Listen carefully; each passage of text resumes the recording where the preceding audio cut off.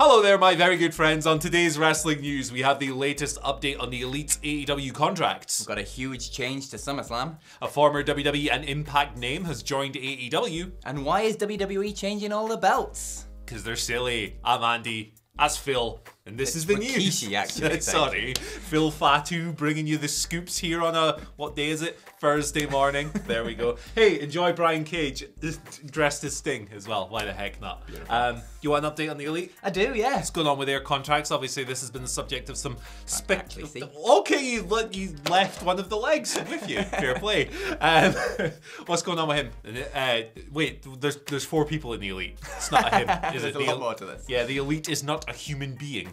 Um, their futures have been the subject of some speculation lately because the contracts are coming up at various dates and the guy they had a fight with all out is back and it's all a bit complicated. But Fightful Select have come through with this report noting that both sides that being the Elite and AEW, have been of the belief that agreements are close at various points throughout this. Now, one source has noted that this has been applicable for a while, so it's not necessarily anything new, but it's the first time we are learning of it, so it's the first time you guys are learning of it as well. Um, AEW is confident of retaining Hangman Page, Kenny Omega, and the Young Bucks, um, and their contracts are due to expire in the not too distant future. Now, AEW's confidence hasn't been hurt by the impending return of CM Punk, who, of course, is back this week on Collision. Um, and yeah, they don't think that's going to impact their ability, it seems, to, to retain the elite.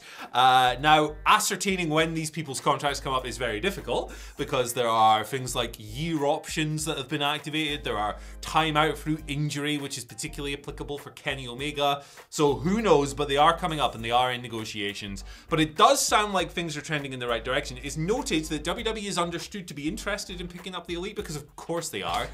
like, even from a standpoint of taking some of Tony Khan's toys I was away to say, just do it just to spite Tony Khan. more than anything Yeah, exactly. There's so many levels to why they would be interested. Um, however, company sources don't think they'll be able to make the jump.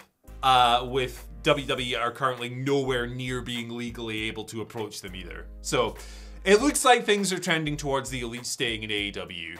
Uh, which is quite interesting with CM Punk pacing these hallways. It is indeed, yeah. We'll have to wait and see how it boils out with the whole like brand split kind of thing. But it is all elite wrestling at the end of the day. You kind of want to keep on hold of four of your absolute top stars. But hopefully they've all got a massive pay bump out of this Yeah. at least. They've got themselves paid thanks to CM Punk, I assume. Oh, imagine. Uh, so that'll be a nice little thing to make CM Punk angry if they get like massive, massive pay bumps because he was a bit of a twat.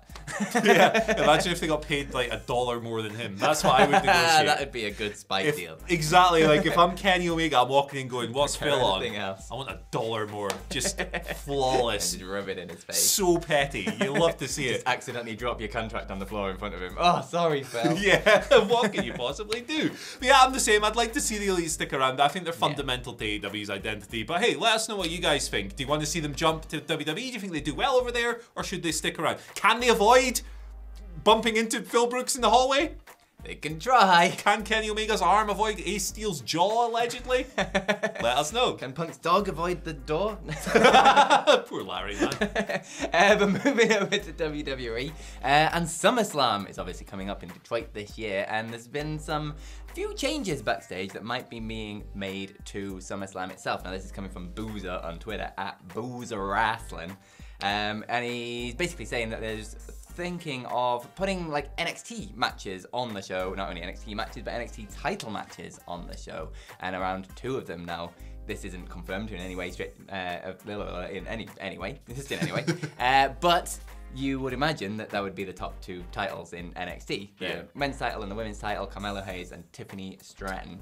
Um, but it's interesting to note that this never has happened on, Sma- on SummerSlam ever before. The only time Yeah. we've ever got close to having an NXT talent on SummerSlam itself was in 2015 when Sasha Banks was the NXT Women's Champion, but then she dropped the belt to Bayley at uh, a little takeover at Brooklyn the night before.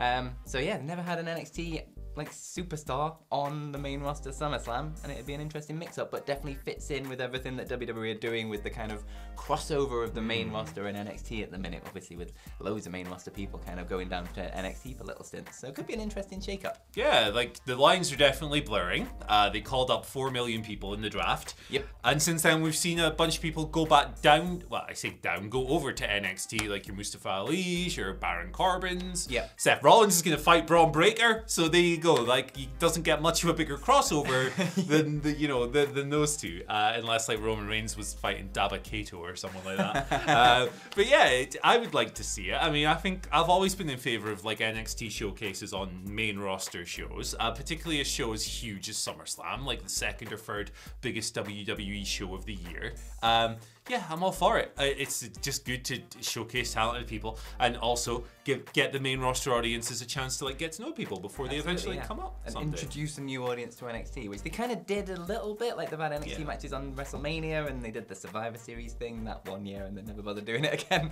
Yeah, it was a hot year as well. was a It was year. It just was a really good year. really, really good SummerSlam. So it's yeah. surprising they haven't done more of this in the past to try and move more eyeballs over to NXT. But like, yeah, good that they're putting that little platform Yeah. on it right now. I subscribe to the idea that this is a good idea, and you guys should subscribe to the channel as well. look at that Hey, smooth. Thank you so much for doing so, by the way. Clicking that button, staying the there. We do this nonsense every day. It's a fun time. Um, speaking of fun times, Hello.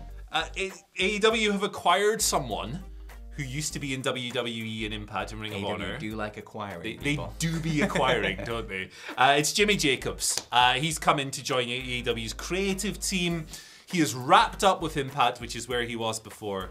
Dave Meltzer of the Wrestling Observer has confirmed this, so have Fightful Select. I don't quite know which report came first, so apologies. you can both have a credit. Yeah, Credits for everyone. Everybody gets a credit. We're sharing it around. Uh, so Jacobs is in. He's on AEW's creative team. They're obviously building something creatively at the moment with the way that's structured. Will Washington came in recently. Brian Danielson's been doing a bunch of stuff. Clearly, Tony Khan just revamping things a little bit creatively, which can only be seen as a positive thing. Now, Jimmy Jacobs. I've been in Impact since 2017, so that's a long ass time. If you recall, Jimmy Jacobs is the chap who, when he was on WWE Creative, he took that selfie with uh, the Elite, or the Bullet Club, sorry, uh, including the Young Bucks and Hangman Page, outside an episode of Raw when they invaded in 2017. WWE fired him for that. He ended up in Impact. Whoops. Uh, if you know him as a wrestler, uh, it's probably from his Ring of Honor days. He was the leader of the Age of the Fall, which is, of course, the stable that really got Seth Rollins over when he was Tyler Black. Brodie Lee was in that group as well. Um, so yeah, there you go, new addition. I think that Tony Khan getting like people who will give him new ideas and argue with his ideas and like bounce stuff off of him. I think it's positive. Yeah, absolutely. Any- kind of shake up, I think, is necessary. He writes a hell of a lot of TV, Yes. does Tony Khan, and no one can do that much on their own. You need a little bit of help with these things, and just having some people as a sounding board, even if it's just someone to bounce ideas off, um, get a bit of a back and forth, have a bit of a conversation about something rather than just you sat with a big white piece of paper trying to figure out what to do for eight hours of TV a week or whatever it is now. Um, so yeah, I think this is only a good thing. He's got a lot of experience that he brings to the team as well. So it should be good to see things shake up a little bit. Yeah, new ideas. Indeed. Good. Speaking of new ideas, uh, Triple H has been on one at the minute, and WWE changing all of the WWE belts. And this is coming from Sports Illustrated. That the man behind all of this is indeed Triple H. The quote is saying that he wants to uh, freshen up all the titles and present a new look. Um, obviously, at the same time, using it as an excuse to mix up the names of some of the titles, especially the women's ones that have been in desperate need of a change up because the whole Raw and SmackDown thing gets really confusing when you insist on swapping the belts over to different brands every single year on the draft. Um, so that's obviously been changed. So Asuka's now the uh, women's champion and Rhea Ripley's the women's world champion. Yeah. Um, although Asuka's belt still says women's undisputed champion on it as well, doesn't it? They're confused, I guess aren't they? kind of ties into the Roman Reigns thing because he's got the undisputed tide championship and then Seth with the world heavyweight championship.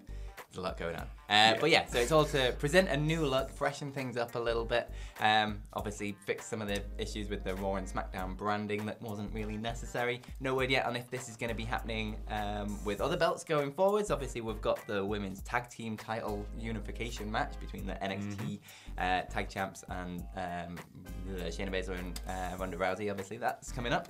So you'd expect something to change with that, whether they just drop the NXT belts and keep the women's ones because they're not that old, I guess. Yeah, they've only been around a couple of years, Yeah, really. like yeah. they mixed up the IC belt not that long ago, so that one might not get a change up. But hopefully the men's tag team ones, they definitely need a change up. Yeah. Because they've been ugly for a long ass time. Yeah, little And- pennies on a bit of leather. Bad little pennies. The Raw and SmackDown branding again. I think again you can do the similar thing with the women's title where it's like that'll be a free roaming thing across Mm-hmm. all the brands. Um, but I think it's a necessary little shake up. Yeah. Freshens things up a little bit. Different Um, aesthetics. yeah, getting a championship over onto Raw is obviously a good thing away from Mm-hmm. Roman Reigns.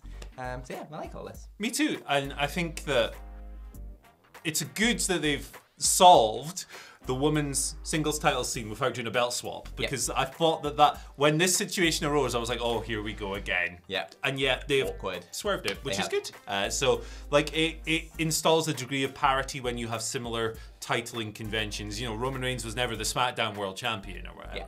Um, so yeah, like obviously Roman is going to be positioned as the big guy because he's undisputed. He's all of this. His belt is like the lineage of the world and universal titles, which All is like into one. yeah, it's everything from Bruno Sammartino to the present day, uh, and even Seth's further is back. just Seth. Yeah, Seth. Seth's just got it. It's just him, which is good because he's good. But you know, uh, yeah, I'm in favor of the changes, and uh, know, the, the the belts are always going to have the massive logo on it now because it looks good on TV. You Yep. give it to a football team, you know what it is straight away. So the designs are what they are. You can love them, you can hate them, you can be somewhere in between. But But you can let us know down in the comments what Hey! you think either way. two in one video. Doing it. Respect it.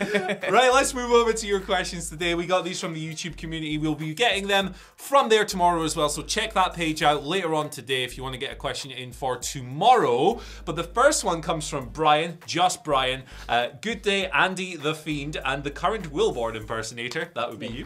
There he is. Good job. Uh, how do you think CM Punk can win back the fans? I think he could start with an apology to the fans during the first collision. He's very lucky that the first show is in Chicago, isn't he? He is very lucky that the first show is in Chicago. Uh, so at least he'll have the home crowd welcome. Yeah. uh, but I do think he needs to get on the mic and say something. It's like, I'm a, oh, I was almost a little bit disappointed that they announced a match for him on the first Yeah. Because I think I'd be much more interested in just seeing, like, just saying CM Punk has a live mic. And that Yeah. that would sell me on that show a lot more than Mystery CM. Punk in a six-way tag match thing, personally. Um, but I think the sooner they get him on a microphone, the better. Whether Yeah. it's going to be on this first show or whether they're going to hold it off to the second show, I don't know.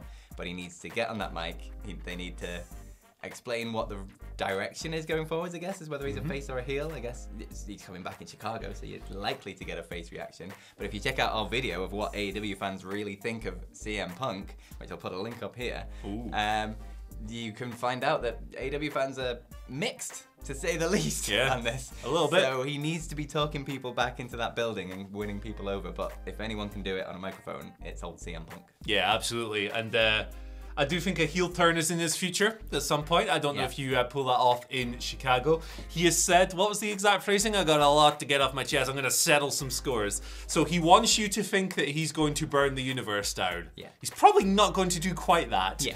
Uh, but I'm looking forward to. Whether it's good, bad, or somewhere in the middle, I am looking forward to the chaos. Yes, Bring absolutely. Let's get there. Uh, second question today comes from Phil Haddock. Nice name. Uh, the captain, who asks, Morning legends, what do you guys look for in a match to make it a five star match? This is a really open ended question. My, my criteria is so simple. If I watch a match and I immediately go, that is one of the best matches I've ever seen, it's a five star match. If I uh, even have the slightest question in my mind that maybe it's not, it's not. That's how I do it. Really simple. Lots of people have different judging methods. So. I think that's fair. I think that's a good reasoning. Um, I think for me, it just has to make me feel something. Like I need, you need to lose yourself in it. Yeah. And then like once you get to that point where you don't realize you're watching wrestling anymore, which Yeah. Uh, difficult to do. Yeah. like to get properly in when you watch like so much of it and like you're so involved and obviously in the job and everything like that and just through wrestling fandom you watch a lot of wrestling. Yeah. Um, so eventually when you get when it really gets you in and you're fully embraced in the moment, I think that's when that's when it becomes five star for me. Yeah, I think that's like these are really good criteria to have because like I don't like the idea of like having a tick box of like oh the technique was on, the finish was good, the the- comeback was uh, jolly. Yes, yes. This uh, specific kick-out spot was uh, just on the money. Um, but hey, look, if you like breaking down wrestling that way, we're vibes guys. However, Yeah. we're vibes guys. Very not- much so. Not everything else. Uh, right, our final question of the day, very serious one, comes from Dante Martin. Not that Dante Martin. Uh, although he might be, he might be, Might like, be, you never know. He might be chilling when he's injured, you know, sending Yeah. in some questions. Uh, but this is Dante with an O. uh, who asks, which version of Bray Wyatt would you want to read you a bedtime story? Ooh, which version? I mean, they're all pretty creepy. They are all pretty creepy. None of them? Yeah. The I mean, the Fiend would just be weird. yeah. Muscle Man, maybe? Might be a bit too energetic for bedtime. Keep you up, yeah. It's like it, bedtime would turn into good morning, I think, with the muscle man. this is true. Mr. Motivator. Big Derek. I respect it. Um, Husky Harris, I don't know, I think he creeped me out a little bit as well. Probably cult leader rocking I was chair. gonna go with cult leader in the end. I think. yeah. I like how the- we've answered this as a shoot as well. Yeah, like Tremendous. the the tones of his voice, I think, could be like when you're just listen to like a nature documentary or something to fall asleep. Like it's just that It's like sort of ASMR. monotone thing. Yeah, that you can just kind of lose yourself in and go, ah, nice, fall asleep. And he's As long rocking. as the rocking chair doesn't squeak, 'cause that'll Yeah, off, that's like- it. Like no squeaky rocking chair, but like a rocking back and forth gently. That kind of inspires a bit of sleep as well. So Yeah, that's true. this turned into a really deep, in-depth did, breakdown. yeah. And hey, if you like deep, in-depth breakdowns and you enjoyed this video, you're probably going to enjoy this one right here as well. Thank you for watching today. I've been Andy. That's Phil. yeah. Yep, finished it for you. Bye. See you later.